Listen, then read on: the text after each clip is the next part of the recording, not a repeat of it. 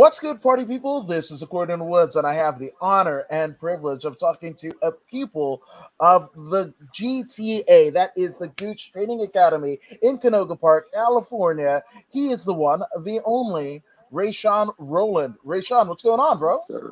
Hey, how you doing, man? It's, uh, it's an honor to uh, be on there. Say it again it's an honor to have you on. It's an honor to have you on because like um, I I kind of pride myself in in you know knowing the ins and outs of you know kind of mixed martial arts, you know, and especially here in California, that's kind of where I cut my teeth, eh, you know, in Southern California doing interviews. So when like there's a name at the gym because I know I know Nina, I, I, know George Garcia, like I, I, you know Rob Gooch and what have you. So yeah. when there's a fighter coming out of a gym and I don't know about, I'm all like, I'm giddy. It's like Christmas morning to me because I'm like, ah, I get this is somebody that is going to be my friend and we're gonna have some cool times. Heck yeah, most definitely, man.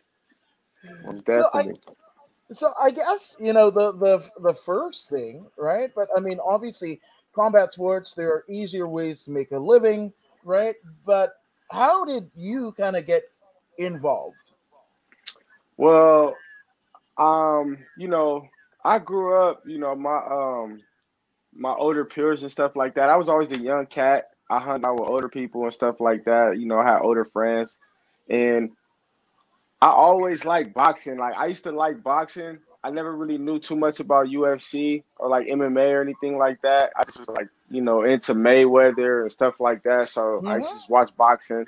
And um my boys and stuff sometimes, you know, the way we grew up, we grew up in this little small apartment and like, you know, it was a lot of us and they used to just make us get in the gloves sometimes. But you know, I grew up originally playing football and stuff like that. But wow. you know, I stopped playing football, went to Montana University and stuff like that and everything. And um yeah, I stopped I stopped playing, but I always, you know, I just want to stay in shape. I like I like waking up wanting to go do something or having to go do something like you know or somebody on me. And then when i stopped playing football i didn't know what, like what to do too much. So i started going to boxing gym for a little bit. And then i didn't really you know it was cool but i didn't really like it as much and then I found out like my boy he wanted to talk to me about some things. He was just telling me like he think I should try like you know mixed martial arts, and I was like, uh, I don't know about that, man. I don't know. Like boxing's cool, but you know he talked me into it. I went to the gym, and I went to GTA Academy, and dude, Rob is a genius, man. Like that dude, he brought it out of me, and it's just many more accomplishments to um to go from here on out. Yeah, no. Know. Now, I mean, now in terms of your your football prowess, uh, what what position did you play? I played cornerback. Oh, so you're you're used to kind of juking yeah, motherfuckers. Yeah. Okay. Yeah, I had to. You know, I could do I could do it all, man. I used to I used to play. I used to be an athlete out there, but like originally they had me playing cornerback. Wow, and I mean that's a you know that's a kind of a, a cool position to to be in in terms of parlaying that into you know mixed martial arts where you have to do a lot of different things. You gotta you know especially of a you know I, I, know he gets a lot of crap but colin kaepernick uh, i mean that that style actually kind of warren moon and, and michael vick right? Those are yes, you know the scrambling those scrambling quarterbacks. Even uh, like vinny testaverde way, way back in the day, you know? Man, them was some dogs. Right? There some dogs right there. Heck yeah. Yeah. Yeah. So I mean it gives you a little bit of you know of versatility because you're not just relying on your power like you would, you know, a back, you know, running back, linebacker, exactly. fullback, what have you, right? And then you're you're you know not just focusing on one particular thing. You know, you got to have your your kind of eyes all over the place, almost like when you're driving. You kind of scan the entire landscape of things to make sure that there's, you know, kind of no threats going on, right? Yeah, yeah. It's crazy, man. It's a lot of thinking and stuff like that you got to do, but you know, I'm, you know, like you just, I'm used to it, man. Just being under pressure. I feel like when I'm under pressure, like I perform better. So yeah. Yeah. Now, Mick Mac, our friend in Australia, who comes to us uh, by way of Eric Bischoff. Eric Bischoff from WCW. Um, yeah, we've been on a couple times. He's been on this podcast a couple times. But Mick Oh, Mac, nice. yes, Mick Mac actually, uh, he has this thing, right? He says he wants to cancel Adam Woods for hating thongs. And here's the deal. Did you know, Ray Shaw, right? So thongs, right? When you're here in the States, now my mom is from Fiji, so I can get both the American English and the British Commonwealth English, right? Oh, that's that's that's dope. It's it's I mean it's definitely a thing, right? Uh where it didn't work out is when I was like, oh look at that cat, but I would say it the way that English people would say, and that's a lady's private Right. parts. Exactly. that, that didn't that didn't endear me to too many people, right? Well, Mi- Mick Mac is in Australia, right? And Mhm. what I, you know, sandals, right, would be here. We call them flip flops in Fiji. The you know the things that you see, Oh, yeah. right? Yeah. Well, Mick Mac in Australia calls them thongs, right? And I put on Twitter, I was like, if that's a thong, right, that goes on your feet, then what did Lita back in the day wear over her biker or skater shorts? Or what did Sisqó think sing about? He wasn't talking about your feet. And that was an international hit. So in 2021, we should kind of know what thongs are, right? yeah, not correct for sure, for sure. That's crazy. But That's Mac wants to be canceled. Oh, oh, Mac. I'm gonna win you back, brother. I'm gonna win you back. man, shout out Mick Mac, man. Yeah. So you're writing your audience. Uh, yeah, you you can say you're big in Australia, Raeshawn. So there you go. I'm saying Oh man, That's it. That's crazy. that's it. The powers of the, the internet. The internet. Now, obviously, um, in in terms of the the the boxers that you like, you obviously you you just talked about Floyd Mayweather, right, Junior, and then, but I mean, i the era that you were kind of a fan, right? What what were some of your other favorites? I mean, how how into Oh, were you? um, like right now, or anytime? I mean, really, like I grew up. I I wouldn't say I grew up watching Mike Tyson because I didn't, but I, I I'm I, I love Mike Tyson, man. Um, his mentality was just crazy, and um, like you know, today's boxers, I like um, you know, George Kambosos. I like him. I like Mhm. J- Gervonta Davis. Horse tank. Um, yeah. Yep. You know, I like Ryan Garcia, Devin Haney. I even like Teofimo Lopez. Like he, you know, he's pretty good himself. You know, he just lost, but we all that's just that's just part of the sport. We all know how that go. But um, yeah, you know, I really don't. I, I grew up just studying because I really wanted to like if I didn't play football, I wanted to be a boxer. But then again, like I started training with GTA, and now I'm I do MMA, you know, and that's I don't, you know, I really like boxing's cool, but like I don't even watch it if like them fighters I named were fighting, but like Yeah. you won't really catch me, you know, watching too much of it. Only if them, you know, them fighters are like exciting fights or something like that, I'll turn it on. Like last night, I watched, you know, Davis versus Cruz. Um, Right. I just be watching it. Literally. Hey. Yeah, man. That's all. I, that's all I'll be watching.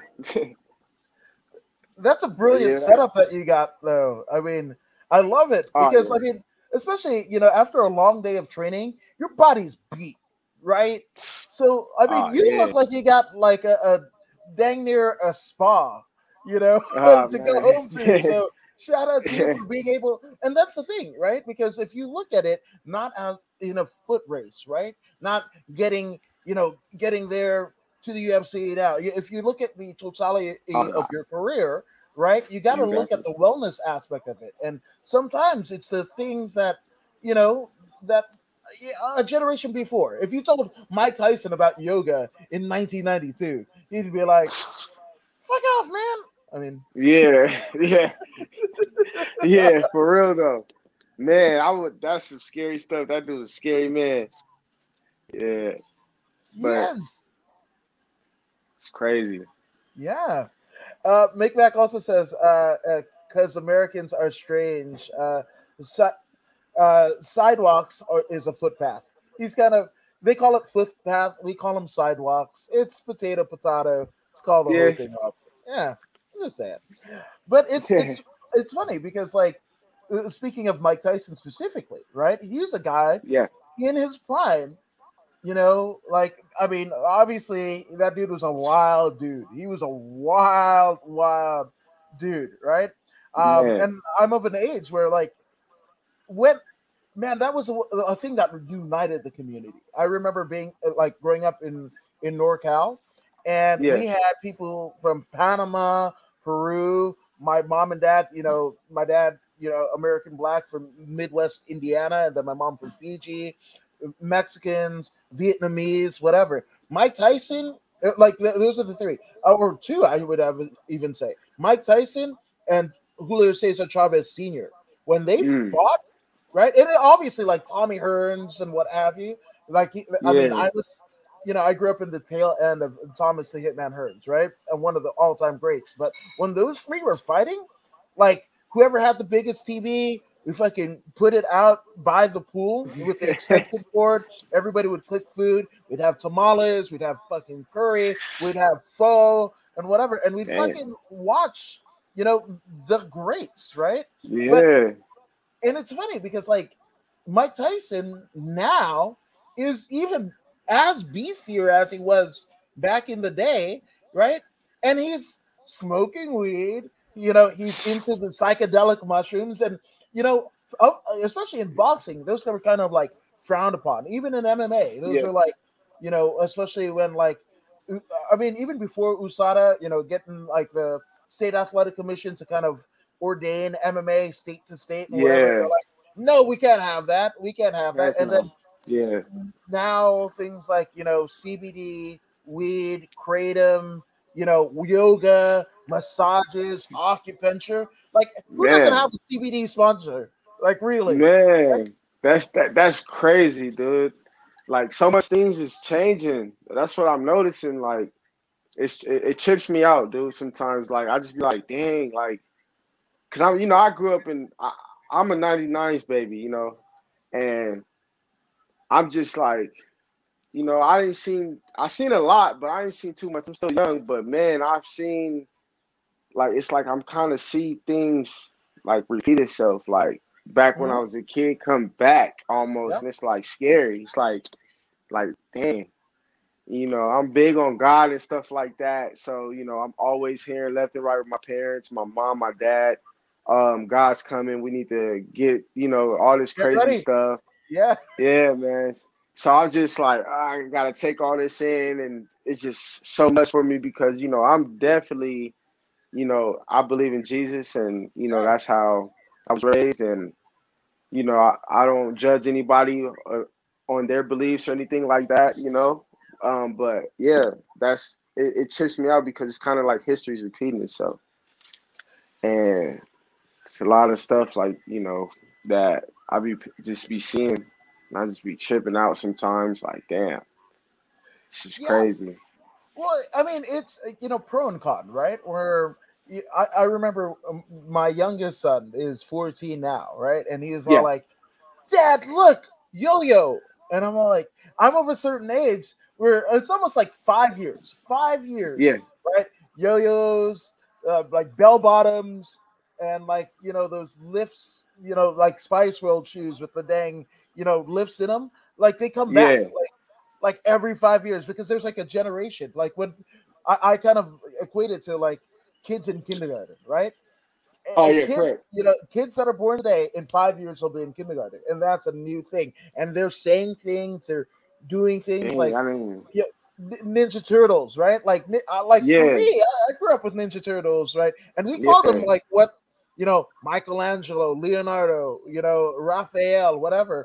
And you know, my kid, and it's kind of weird because uh, like I don't know if they think that kids are dumber now, but like the names are yeah, Ralph, Mikey. You know, they don't even say the full names or give it context because those are, you know, Michelangelo, Raphael, They- Leonardo da Vinci, right? Like, and they Yeah. kind of they kind of dumb it down and whatever. And even like the, I mean, I've got a, I've got a, a, a figure of Raph here, right? And that Oh, looks all, nice. all bits of badass, right? Where the Yeah. cartoon that my my kid grew up with, his version of the Ninja Turtles, it almost looks like anime esque and what have you. Nothing against anime or anything like that, Nah, but it's just you know, it's it's just different, uh, you know. yeah, yeah, that's crazy. I, I don't know, man. It's like they half-assed it nowadays.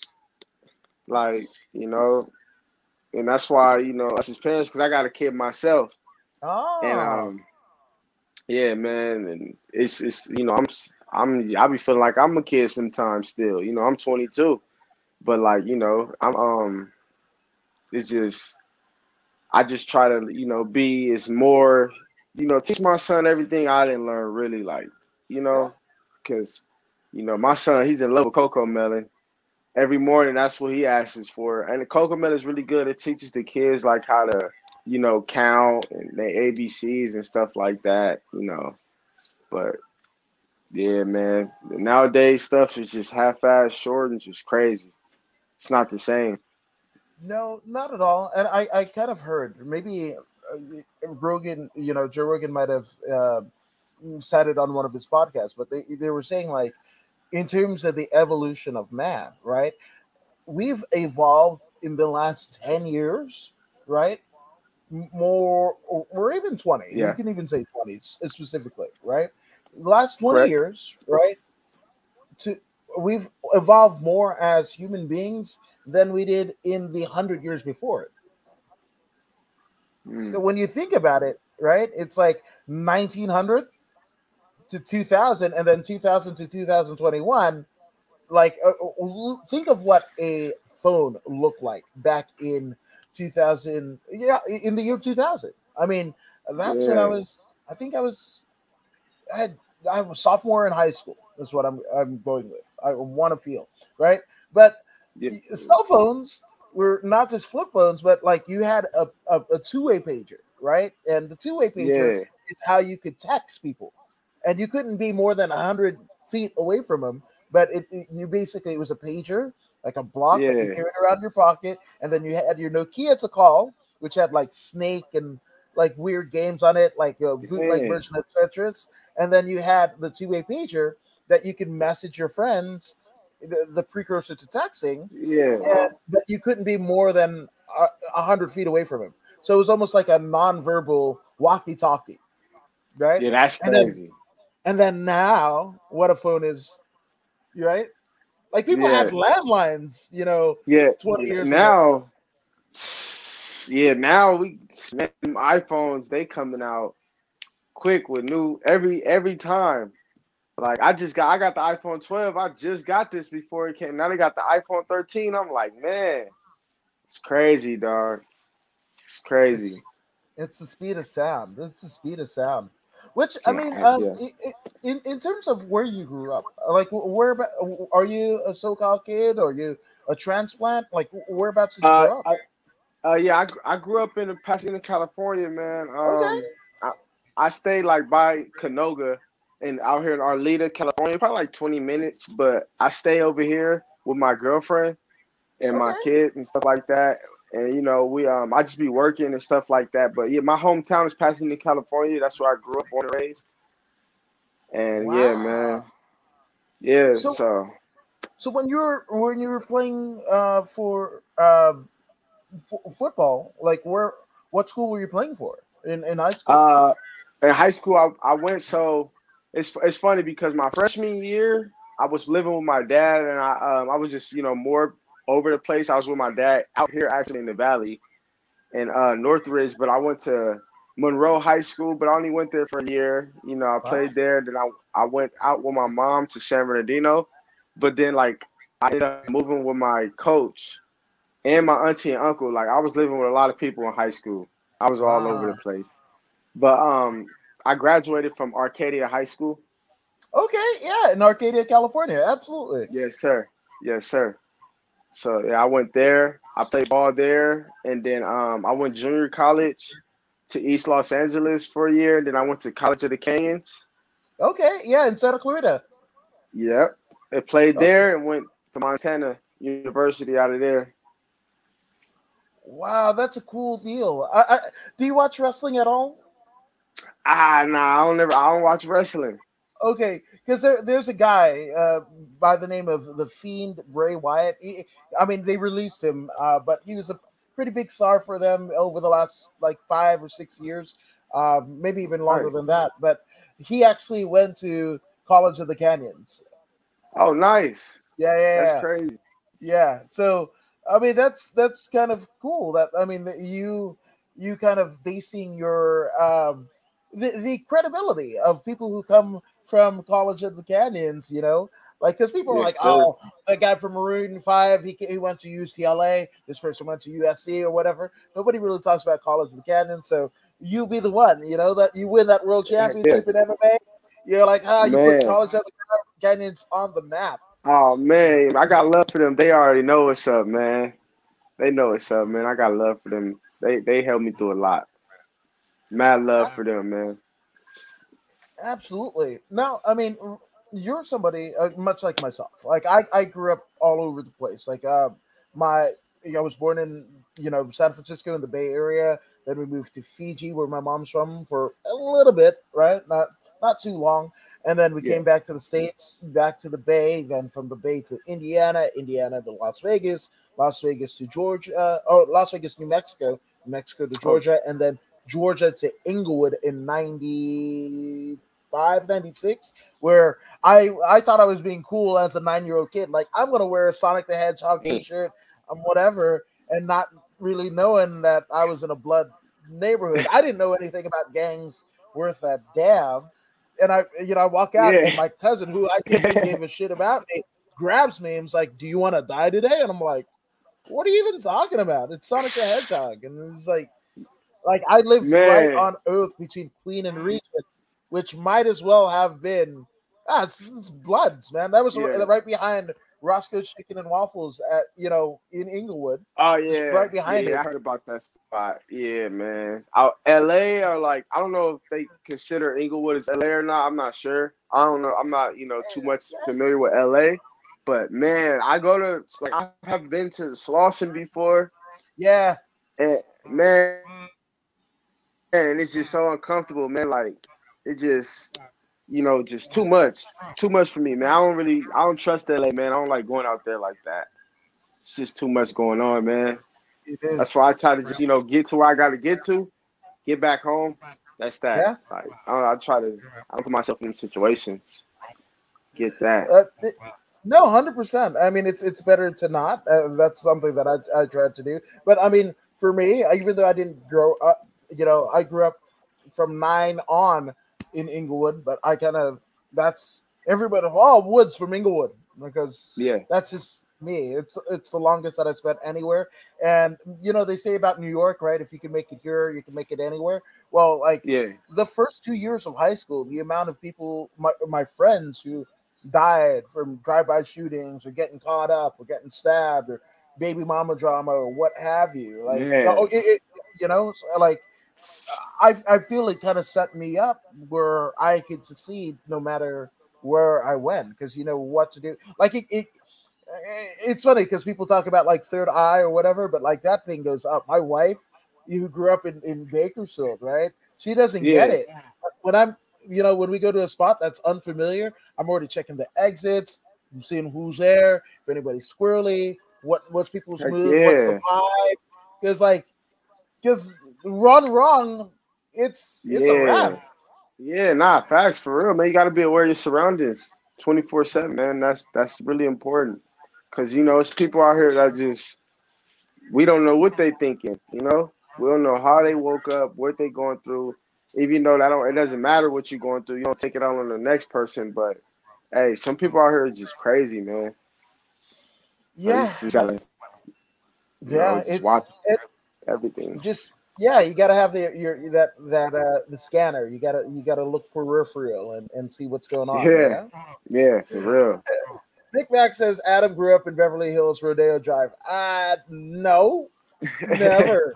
I don't even like going by there now. I feel as uncomfortable in Rodeo Drive as I would feel, you know, uncomfortable in like Slauson and, and Crenshaw. Man. Like it's weird. It's so weird. But then I also think like Beverly Hills is like the the least racist, sexist place ever because you can be LGBTQ, black, Korean, Cambodian, you know, lesbian, straight, whatever. As long as you got money, they don't give a damn.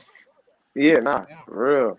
Like they don't real. give a damn. So theoretically, it's one of the last holdouts of the least racist places in LA. Right. now it's crazy. Now, in terms of you know all of the places that you grew up, right? Now that you're, you know, you've got your significant other, you guys have a child together. How's that stability? You know, and following your, your, calling in MMA, right? Like, how's that stability feel? Because for me, like, it, it's trippy. Like, I I live not too far from where you grew up in in Pasadena, and my kid goes to like, a, you know, before pandemic went to a charter school, right? And yeah. it's like, you know, kind of Los Feliz and charter school and whatever. And you know, sometimes I kind of wish like maybe we went to to Inglewood or whatever because there's some things that again we were talking about the scanners and the peripherals that yeah. because he lives kind of a cleaner life, not as gritty a life as I did, you know, and growing up in a different zip code than I did. I think there's, you know, there's things that he doesn't see that I might see, right? The certain yeah, hazards. Correct. But yeah, I feel you that. But you yourself, right? Like the fact that you're not bouncing in place to place, you have a stable upbringing, you're a stable, you know, you're bringing up a child with a person you love, you're at a gym that is really conducive, you know, and after finding, you know, like football, you know, you're like, oh man, like that's a fire. There's a competitive fire. And once that yeah. goes, you're like, okay, what can I get my fix on? Right. And you found it. Yeah. So how does that how does that feel to be stable? Oh man, it, it feels it, it, feels great, man. Like it, it's just, you know, I I'm the type of guy, you know, I don't let nothing really, you know, try to like I, I try not to overthink, you know? Like it's good being stable, you know, it's it's good and everything. You know, I'm working. That was my most important. Like I wanted to get a job, you know, to be able to provide, you know. And um it, it feels good, man. Like it's a blessing. Like it's the biggest blessing ever. You know, I don't ask for I don't, you know, I don't really care for too much. You know, I'm good. I'm happy. I'm doing what I love. You know, I love to fight. Like and you know, I'm doing what I love, man and you know I'm working, and it's just it's just a dream chase. You know, I'm just I'm just chasing my dream. It's it's not nothing's you know nothing. I don't really see too much like anything stopping me but myself. So you know, and I just one thing about it is, um, what's the word for it? Like I want to say like um time management. Right. Is my that that got to be my best friend. You know because I, I just I, I don't I don't have time to do anything. Like I I gotta squeeze things in. I gotta especially with working and stuff like that. So I'll make that my best friend. And yeah, man, I'm, it's it's good. Like I, I love being stable, you know, and I, I just I just love the life I'm living, man. I no worries, you know. Just blessed and just doing what I love to do, man. Can't complain at all. Nah, I can. I mean, you're you're kind of bringing me to tears, man, because I I know how that is. Like uh, uh, when my wife and I first got together, like we are one of the friends. Like you know, we moved into a spot and they gave us a table, and I cried because I hadn't had a table since I left the Bay, and shit, like since I was eight, maybe. And there was man. one other time where in Inglewood where my mom had a spot and my dad had a spot and whatever, but like like and that was my mom's table that was my dad's table but having one of my own after sleeping on people's like floors and couches and yeah. you know like enrolled in one school in six weeks we'd be out in whatever and man you know tell me so, about it. Yeah you know uh, one of the things I, I mean uh, up until just the beginning of the summer i didn't we i've been with my wife 15 years right? We have never gone on a vacation nothing like that because in my head my mom would be like you know to kind of gloss over the fact that we were moving and we were never going to see the people around ever again especially you know, with no social media, no phones, no nothing, right? She would be Yeah. like, "Oh, we're just gonna go vacation here," and we would just be there, you know. And Yeah. we almost had to kind of like recalibrate everything that we we had done up until that point. So like that's why I say like I I know I know that. So I'm proud of you, dude. Just for that. Oh man, appreciate that, man. You know, appreciate that so much, man. For real. Just gotta, you know, it's just, it's a grind, man. That's all. We grinding, man. I see you grinding too, man. It's all a grind, man. That's That's that's that's what it's all it. about. absolutely and uh, uh you know uplifting others right? And that's you know start starting off this podcast right? It was you know i've done Yes, interviews you know for mma and pro wrestling in, in socal over the last four almost five years right? And then and right before pandemic actually two years before pandemic i was going all the way from like not too far away from you know pasadena all the way out to stanton yeah. to do to do the gym crashers uh you know deal. And some nights it would take me two hours to get to orange county just to do it or or when i graduated from high school and went to radio school it was four hours each way on a bus from inglewood Mm. to huntington beach right just to get airtime just to you know apply your trade so the fact that i'm in Yeah. the corner of my living room and I can do the thing, it's not lost on me, right? And everybody No. who started podcasts during the pandemic, I think we are all trying to figure it out, right? We all this stuff was being thrown at us and whatever, and we didn't know what one way to turn. There was riots, there was fire in Australia, Kobe died. The, like it just it was just like the, it was like Lemony Snickets, right? The series of unfortunate events. That's what it was, right? But it was just kind of reaching out to each other and seeing like, hey, you good? And guess what? Yeah. Right, but but also like just checking in. Like, hey, some of my friends who were professional wrestlers or MMA fighters on the cusp of getting a WWE tryout, a UFC contender series, a Bellator tryout, whatever, you know, and then that all went away. And then, you know, you started to go through an identity crisis. Like, who am I really if not if not for this community that has been so rich for all of us that are involved?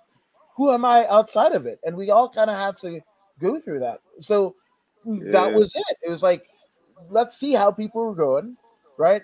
Meet meet friends, meet new friends. You know, I'd, I'd Oh, open yeah. up Instagram and whatever, and I'm like, ah, that person looks interesting. DM them, bing, there we go. We got a podcast going, and the you know people are commenting and everything, and we we kind of got through it together. You know, rather than Exactly. Rather than do like a tape thing and whatever. And if tape podcasters are cool, awesome, whatever. But for me, I, I dig I dig the frenetic energy of like we're not knowing what's gonna be said or what's gonna be done and whatever, but we're, we're gonna do an hour and it's gonna be fun. Yeah. Yeah. Facts. Facts, man. So uh, talk about identity, right? You moved to the Midwest to play Right. football, right? Oh man, yeah. Out at Montana University. Yeah, what was that For, like? uh, my- because I mean, Ri- yeah, because Richie Miranda, he I think uh, he grew up. He, he fights out of CSW under Ben Jones, and he went to Nebraska, but living in in Orange County, right?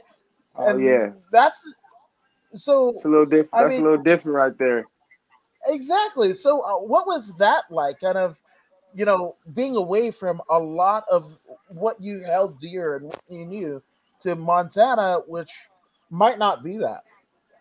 Ah, um, well, I'm a, I'm kind of different, man. Like, I, I like to expand. Like, I like to. So, it was it was a lot different. Yeah, it was a, it was a lot different, man. Like, I didn't really get to enjoy. I wasn't there that long. I was only there for like a few weeks. Okay. But um, yeah, I, I mean, it, it was a lot different. You know, it was just, it, I really couldn't like go enjoy anything like that because when I was there, I was in fall camp. Yeah. So like, fall camp, that's they take dang near the whole freaking like the whole Time- time of your like you only get like two hours to yourself, dude. Mm-hmm. and then you got to go to sleep and do it all over again.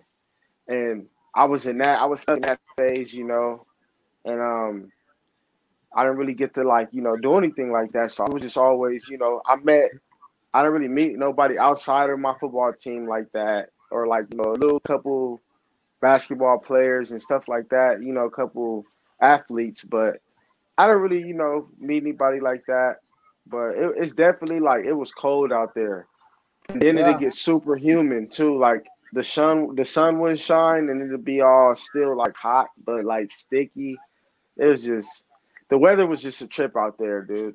But uh, other than that, like, yeah, it was, it, it was cool though. I liked it. I like you know being everywhere. Sorry about that. No, no, that's that's brilliant. You know, being being able to be versatile, right? No matter what life throws at you or what situations present itself, you know, you're you're you're there, you're present in the moment, and you, you're you're feeling what it is. You know, but then the, uh, do, doing stuff like that, also, you know what you want and versus what you don't want. Yeah. Correct.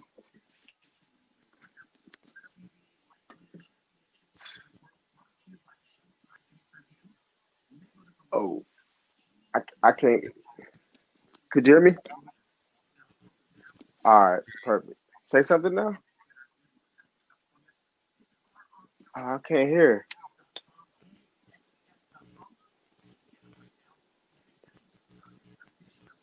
Uh, I can hear me, but I can't hear you. Uh,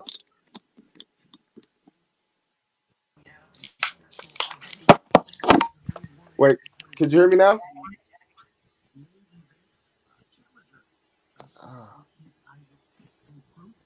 Dang it. Um. Uh, do I like? Should I leave and come back? All right. Court in the Woods, and that is Raeshawn, uh, who trains out of the Gooch Academy in uh, Canoga Park, California, and he's amazing. I, I didn't know it, but uh, we kind of, even though it isn't exactly the same path, similar path, just kind of growing up all over the place and everything like that. Um, but fascinating to hear his story. I can't wait till he jumps back on. Um, which look, Look, he's back. He's back. There we go. Yeah. He's, there we go. It's Sersky. I think you got a call or a text, and it threw everything off. Which you might yeah, want to pro- throw up. You might want to throw up the uh, uh, "Do Not Disturb." Oh yeah, perfect. Yeah, I should have told you that before. That's my bad. nah, it's all good, man. Yeah. We live and we so, learn we live and we learn. So speaking of living and learning, right? You said coming from Montana uh, and then you know kind of trying to find yourself, right? Because you didn't have that you know way of elicting that competitive spirit that had been in you and burning within you for the mo- the better part of your life, right? So yeah. then you you met a friend and he was like, "Uh, boxing and what have you," but then they they bring up Gooch, you know, GTA, Gooch Training Academy. What was your first perception of like what it was going to be, and then what was the first day like? Uh, when I went to GTA. Yeah. Oh man, I was fucking nervous. I, am not gonna lie, I, I was nervous as heck, man. Like, I um I didn't know, you know, but like when I looked at it, I, I honestly I went on this on the on the website. I found them on the Instagram. It was one day I was just I was home. I actually was just getting over COVID. It was a minute ago, like when it first came out. I was just getting over COVID. Yeah, I was. I had caught it a long time ago when it first came out, and I was just one day. I was my two weeks was up. I was done quarantining. I had tested. uh was good. But um You can hear me? Oh yeah, we good. And then um, Yeah. I um was calling all these gyms and you know looking up different gyms, and I just went off of like you know basically I just found the vibe. I'm like, let me go check out GTA. And I went and checked it out, man. And my first day, I was scared, but I, I like I wasn't scared, but I was more like, damn, I don't want to get in here and embarrass myself. I don't know where these people are. I know that I still got a lot to, you know, I got a lot to accomplish. I got a lot to, you know, I don't want to go in here and be tired off jump roping. I don't know how many rounds they go. Just overthinking because that's just the type of guy I am. I always overthink, so I'll be working on that, um, like with myself, trying not to overthink so much.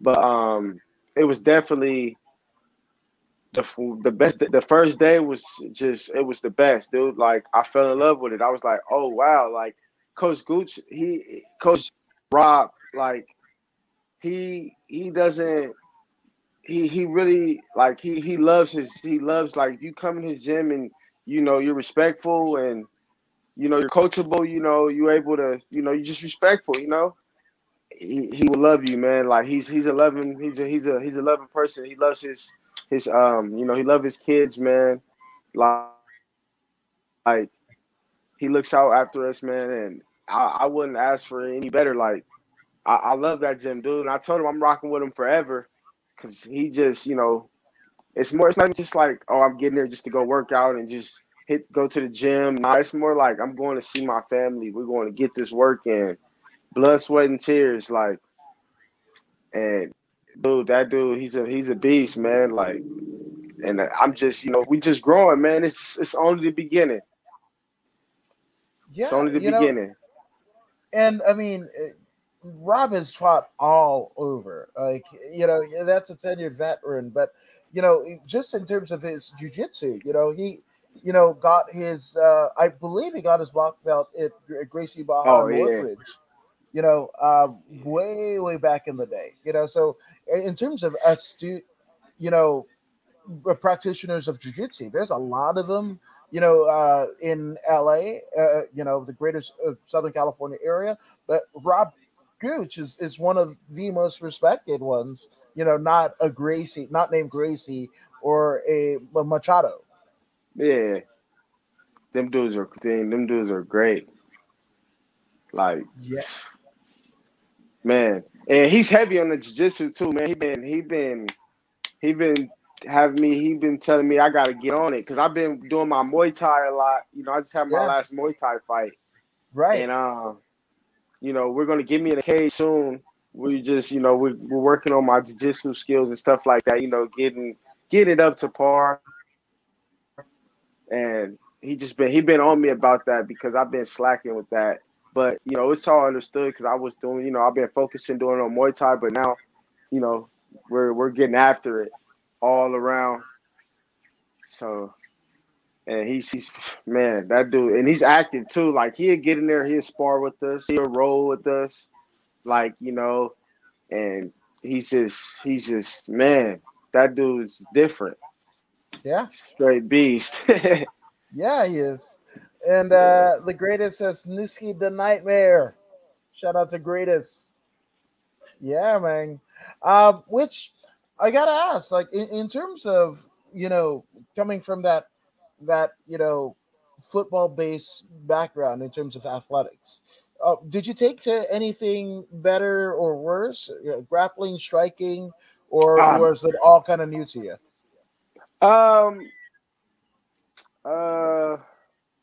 It's it's I I, I take striking. I'm a striker. Like I I I I, I love to strike. And, but I mean that that's my coach. You know, Coach Rob. He told me that that don't mean shit. Like you can yeah you can know how to strike like you know, but you want to be able to work everything. You know, everything is good. Like I, I really didn't like jiu-jitsu like that. Like I just I didn't know what it was. I didn't know anything about jiu-jitsu. I just found out about jiu-jitsu not like when I started fighting, you know. And I didn't really, you know, it was so crazy because I'm like, are we doing karate? Like when I first found out about the gi and stuff like that, I just think it was karate and it's it's you know, it's totally different, you know, but now I understand like I'm in a mental like, okay, I might not like doing it because I'm not good right now. But once I you know, start continuously like doing it over and over and over again, and I'm getting better, and I'm noticing I'm getting better, like, and I know I'm getting better, I start liking it. But I have no choice, man. I, I want to be a fighter, and you know, that's what I am, and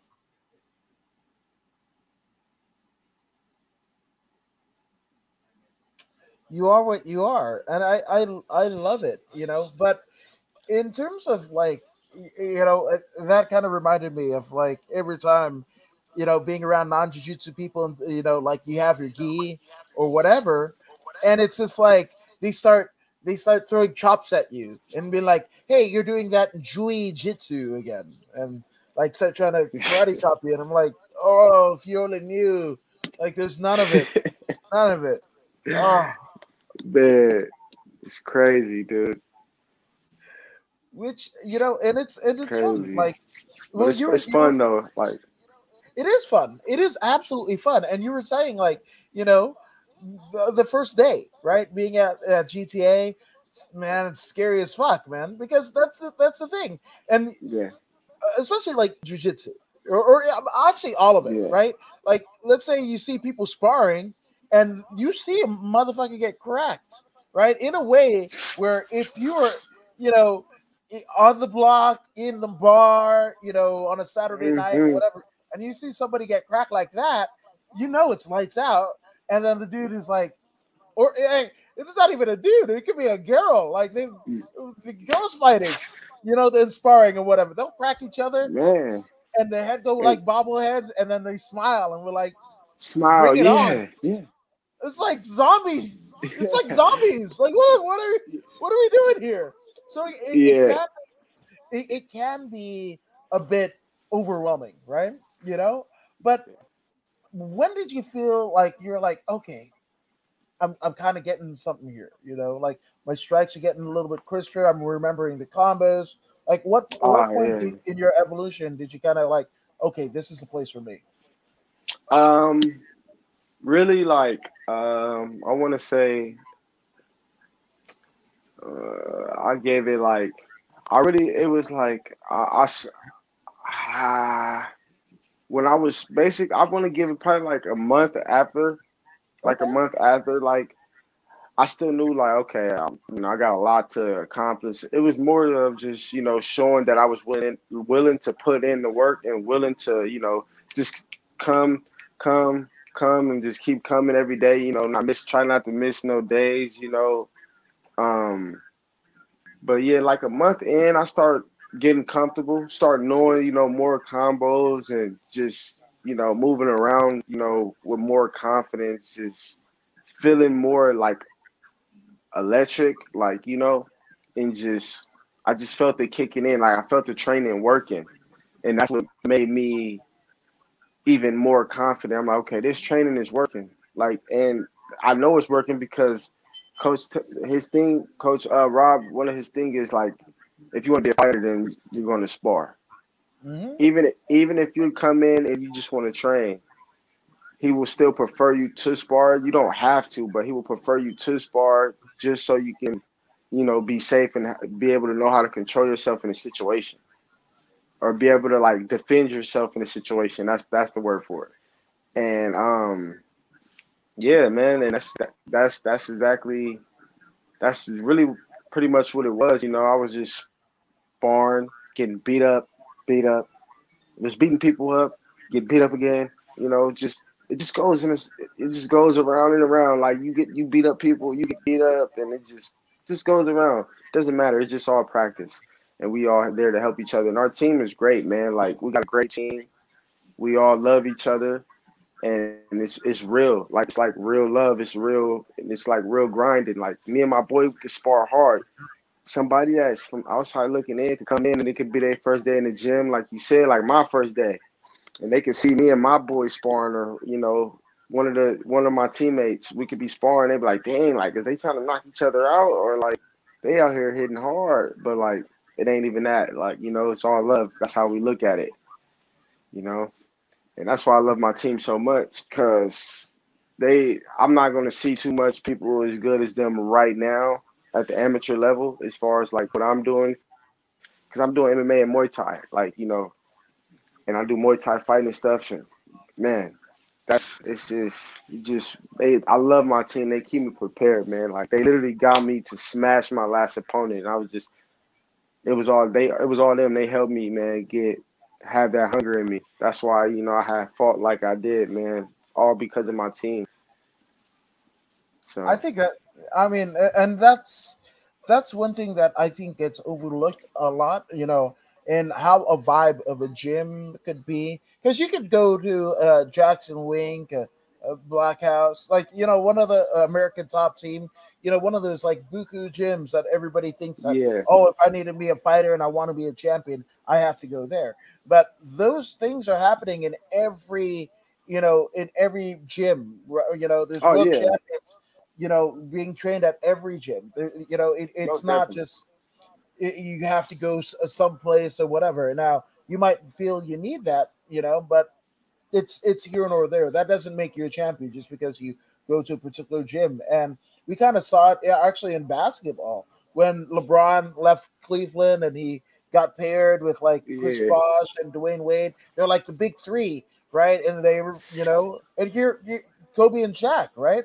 It took about Yeah. a year for them to, you know, get the synergy that they needed to end up doing great things. But everybody just assumed, oh, they're here, so everything is going to be give me that ring, kiss the ring, what have you. Yeah, I And remember it that. takes- Right.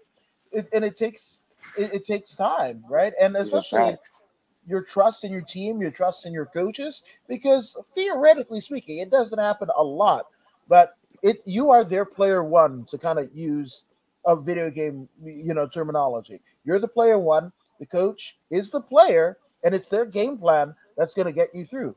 But you can also die, and like I said, doesn't happen a lot, but it can Mhm. happen, right? So Yeah, that facts. trust, that trust that you have to have with your coach and with your fighter, I mean, it's immeasurable what the benefit is.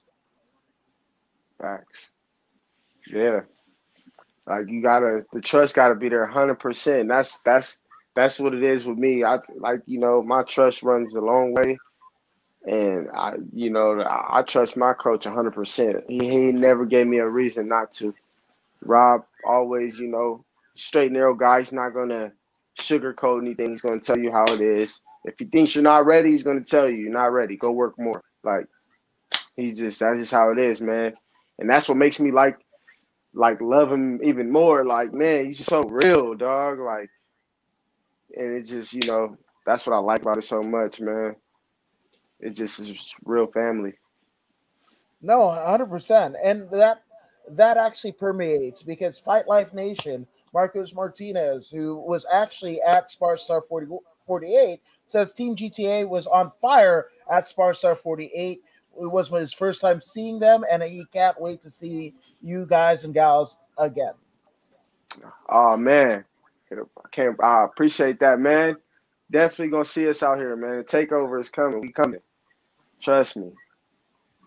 We coming Absolutely. for everything. Absolutely. Now, in terms of like you know the you training, you know, and then taking your first fight, how much time was in between that? Um, I was training probably for like like a year almost, Yeah. probably like a year, like eight months. You know, I um I kind of elevated pretty fast, you know, because my striking was pretty good, and then coach cleaned it up, you know, cleaned Yeah. up my kicking and stuff, and then just worked on my jiu-jitsu, of course. But you know, Muay Thai, that's why he got me doing Muay Thai fights now, getting into it's my first time fighting. Like my first, my last fight was what November nineteenth. That was my first fight, my debut. But this is my Muay Thai debut, you know, and coach just want to give me like we're gonna give me in a few more of them before we get me in the cage, just to get me you just to get me used to the, you know, the feeling and and stuff like that. And you know, that's pretty much it. But it um it probably but I, I've been in fight camp. I, I I had a long fight camp. I had a pretty decent fight camp too. Probably like I want to say like probably like eight weeks. Oh, that's that's huge. Because Yeah. I mean, on average, it's about six weeks, right? Is Yeah. if you if you get lucky. Obviously, short notice fights happen and whatever, but six week is like, you know, kind of, you know, the, the, the, the middle.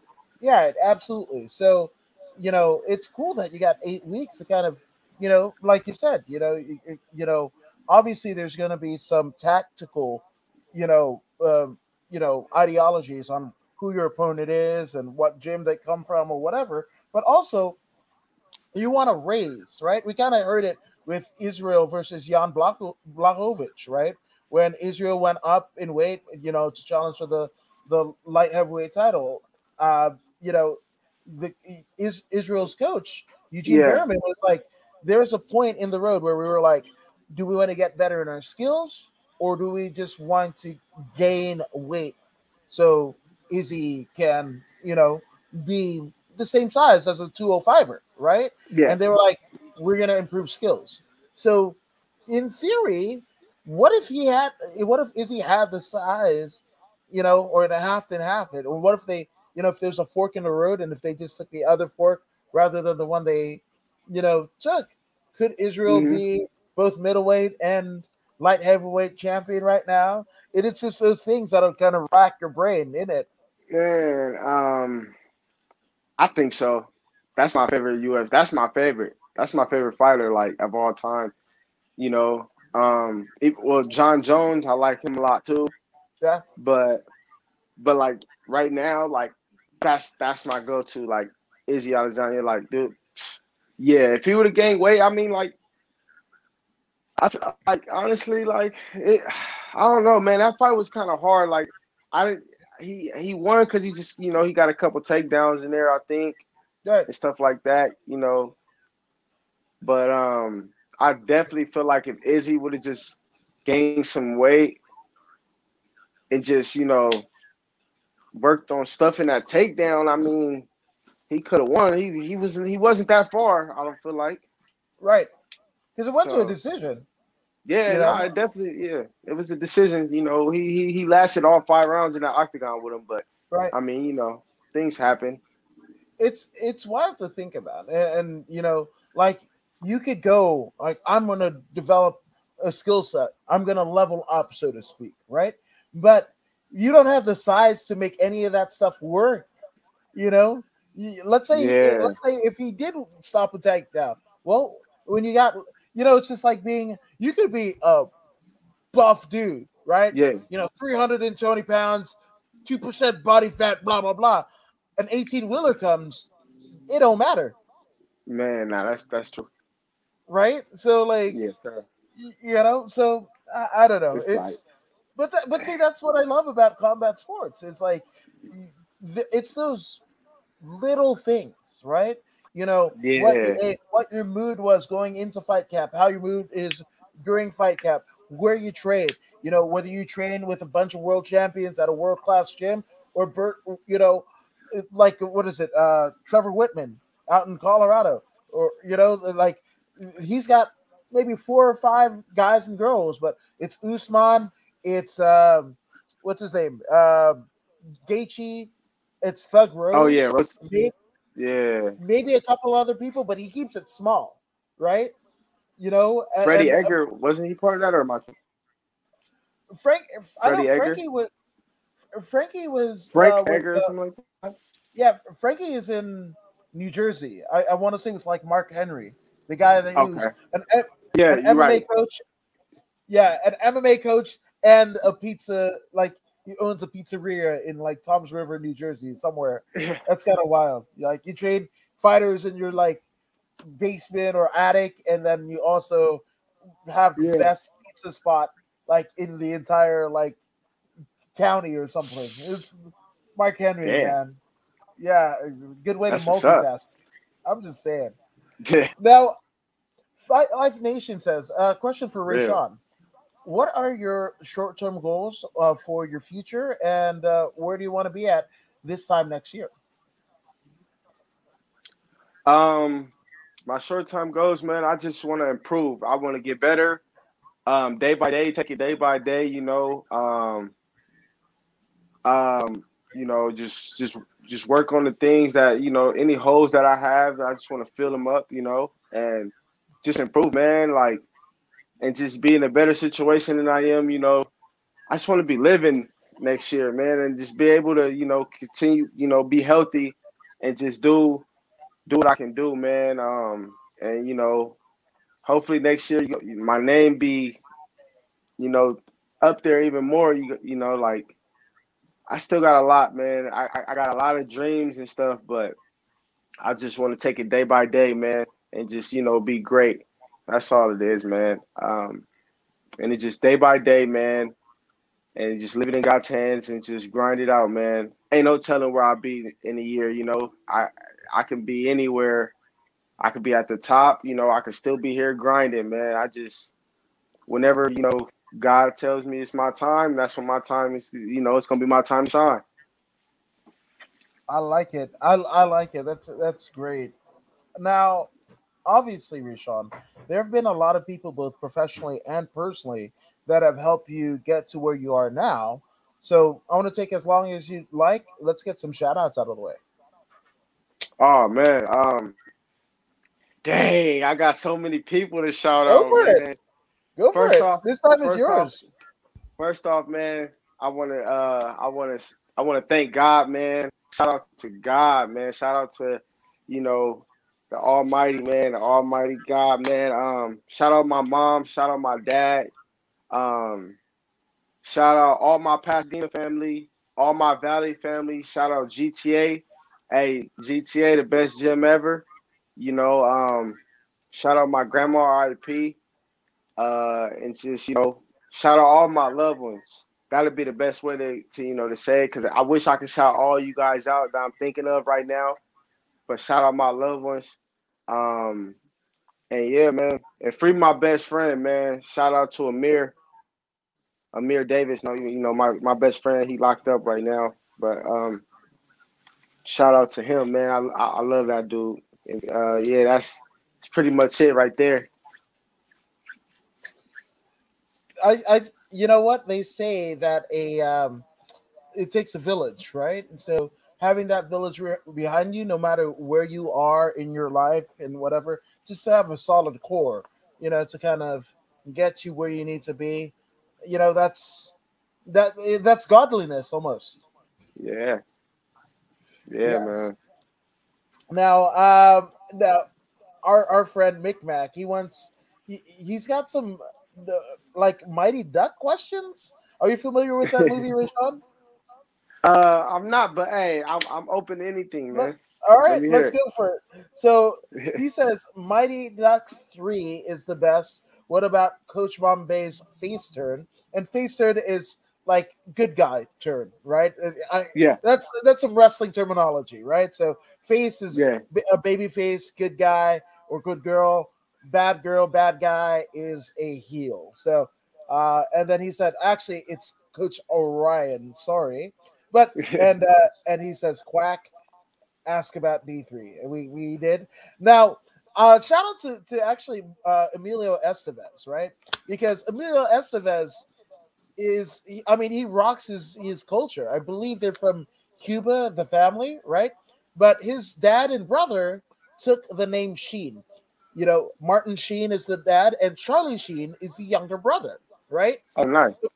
So, shout out to Emilio Estevez for actually rocking the actual family name and not, you know, kind of like, I don't know. I don't want to say like washing it out. Yeah, that's it. Washing it out and whatever, you know, he he rocked it. He was like, I'm Emilio Estevez. Uh, my dad's, you know, Carlos Estevez. And I, I think, it, yeah, uh, Carlos Estevez is actually Charlie Sheen's real name, is, is Carlos Oh, okay. Yeah.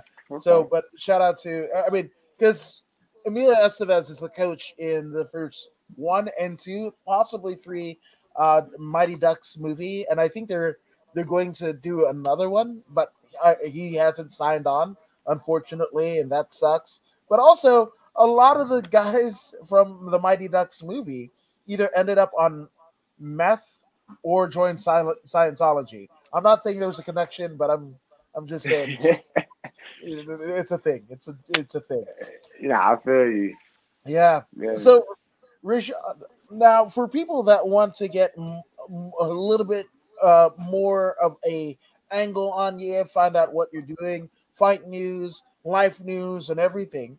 And I believe I linked both your your gym as well as your Instagram in the comment section. But uh, I've said it once before, but it bears repeating. Where can people find you on social media? Oh, um, you can you can find me on social media at uh, MBN Nuskie and MBN underscore Nuskie. Um, on Instagram, I only have an Instagram. Um, yeah, man, and I got you know we we we got a couple dates for my next fight coming up. Um, just stay tuned, follow me on Instagram, and we can figure everything out. And everything, you know, I'm I'm I'm I'm working. Just know I'm working. I'm ready, and it's time. Absolutely. Take over. Which before we go, uh, inter- oh yes, I blew McMac's mind. Yes, Charlie Sheen. His name is Carlos Estevez. Uh, Martin Sheen is Martin Estevez, I believe, senior, and then uh, yeah, Emilio Estevez is the the the brother, the older brother. So there you go. Just blew your blew your mind a little bit, but that could also have been the uh, Scientology and meth thing too. It's, it's weird. It just gets weird. But where does that the, the Instagram name come from? The MBN Nuskie. Where does that come um, from? That that comes from so that's crazy you asked that because so my boy I used to I used to like rap a little bit, you know. I used to rap a little bit and you know, I got I got my cousins and stuff, my boys, my family um that's from out here in the valley. It's this thing called so MBN stands for must be nice. Ah. And, yeah, must be nice. And it's it's it's like it, I'm more like um I bet.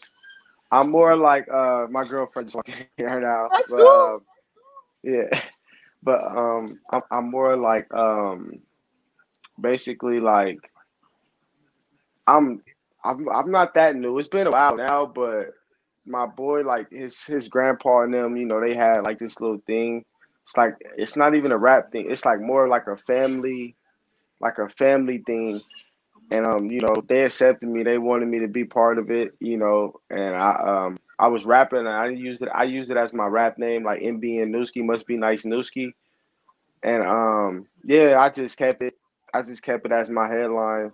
And you know, I'm part of MBN too, so it means a lot to me. And you know, like you know, that's my family. You know, shout out Paco, shout out MBN. Forgot about that. And then um yeah, but other than that, like yeah, they it's like a family thing, but they really they they rap a lot. Like you know, my boys and them, my boy No Cap, my boy uh Devon, like they are they they be rapping and stuff like that. I used to rap with them, but now that I fight and stuff like that, you know, I don't have no time for it but they still take over. They be taking over in the studio. I'm trying to take over on the on the mats, man. and yeah, so but it's, it's it's like more of a just you know little family thing. You know, we meet up, have barbecues and stuff. You know, we be having the shirts. We go model to, in the shirts and stuff like that. You know, go take little pictures and stuff. You know, just little. It's it's it's cool though. It's really dope. But and again, you know, you're carrying that over. Obviously, them in the rap genre, and you're kind of broadening the brand and the appeal, you know, in a whole new thing because you're the only one in the crew that's doing, you know, fighting, right? Yeah. Well, we got one more. My boy, um, Xavier. He he he fights as well. He comes to GTA okay. as well. He's gonna be making his debut soon too. But yeah, he's um he's definitely uh he's he's one of the uh, guys too. You know, he's closer to them. Like he's the one who, you know, actually was like, "Hey, come, you know, come be part of it with us. Like, come, you know, it's a family thing. It's a movement. Like, come, come join it. You know." And I can see why now. It's like, oh yeah, forget it, man. Like, gave me some little gear. I'll be repping the gear sometimes and stuff like that. And yeah, man, we just elevated, man. My boy be sending me like, you know, all types of, you know, scriptures and stuff, just keeping my mind clear, making sure I'm I'm on the right, you know, right mindset, making, you know, because he knows I, I'm telling you, I, I overthink a lot. So all my boys, if they know me, if you know me, all my boys they, they know. So they be like, you know, just sending me scriptures and just making sure my mind's clear in the morning and stuff like that. And my boy be getting me right, man. That you know what? Must be nice. Must be yes. nice. Yes, sir. nice. Yes. well, I like that. Uh, yes. Uh, well, I mean, uh, again, I, I, can't thank you enough for doing this, and uh, this I think this will be a first of many uh, the, oh, that man. we're gonna we'll kind of do together. Uh, so uh, we'll check it out. But the only way that you can check it out, obviously, by following him on Instagram, and then also, hey, I might be a person, right? And uh, According to Woods podcast, you can find that on uh, YouTube, Twitter, Twitch, and Facebook. All of those places, and then also Instagram where I share a bunch of dumb memes. So there's that.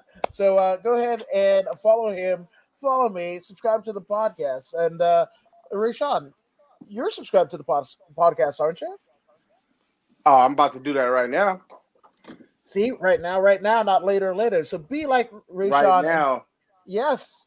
And go ahead and subscribe to the podcast. But if you don't believe me, you don't believe Raeshawn, and I don't know why you wouldn't, well, here's Zeta Zhang to help convince you. Hey, this is Zeta Zhang. Make sure you subscribe to According to Woods YouTube.